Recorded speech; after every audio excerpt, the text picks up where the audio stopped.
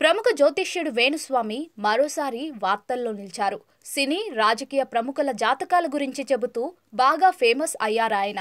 ఆయన చెప్పినవి చెప్పినట్టుగా జరగడంతో వేణుస్వామిని ఫాలో అయ్యేవారి సంఖ్య ఎక్కువైంది.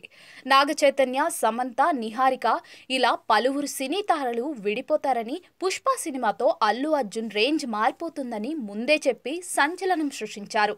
దీంతో సోషల్ మీడియాలో వేణుస్వామి జ్యోతిష్యానికి ఒక రేంజ్లో క్రేజ్ పెరిగింది. సెలబ్రిటీలు సైతం ఆయనతో పూజలు చేయించుకోవడం మొదలుపెట్టారు. తాజాగా ఓ యూట్యూబ్ ఇంటర్వ్యూలో పాల్గొన్న వేణుస్వామి పలు ఆసక్తికర అంశాలను పంచుకున్నారు. ఏపీలో మరోసారి జగన్ అధికారంలోకి వస్తారని చెప్పిన వేణుస్వామి పలువురు మంత్రులు ఓటమి పాలయ్యే అవకాశాలున్నాయని ఆయన అన్నారు. ఇక మెగా కుటుంబంపై కూడా ఆయన తనదైన శైలిలో స్పందించారు. రామ్ చరణ్ ఉపాసన దంపతులకు పుట్టిన క్లింగ్ కారా జాతకంపై వేణుస్వామి స్పందించారు. ఆమెది తిరుగులేని జాతకమని అనేక విజయాలు సాధించి మంచి గుర్తింపు సంపాదించుకుంటుందని అన్నారు. సాధారణంగా పిల్లల జాతకాల గురించి చెప్పకూడదు.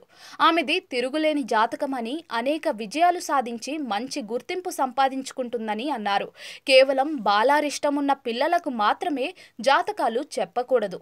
ఒకవేళ అలా చెబితే వారికి ఉండే గండాల గురించి కూడా చెప్పాలి. అందుకే చాలా మందికి జాతకాలు చెప్పరు.